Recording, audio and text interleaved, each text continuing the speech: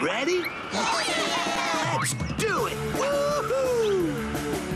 Say something to reassure me. Oh, my God! What?